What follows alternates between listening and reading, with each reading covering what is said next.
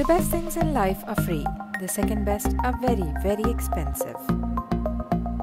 Here are the most expensive bags in the world for you. Many Oscar nominees have carried the Lana Marks Cleopatra clutch on the red carpet.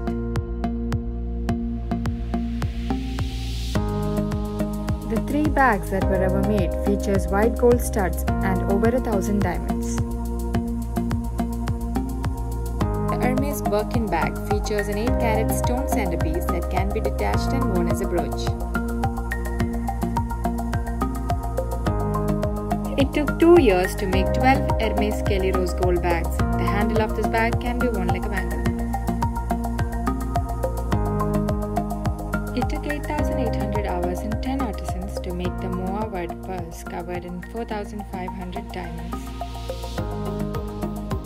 For more stories on luxury and entrepreneurship, follow Hurun Report India.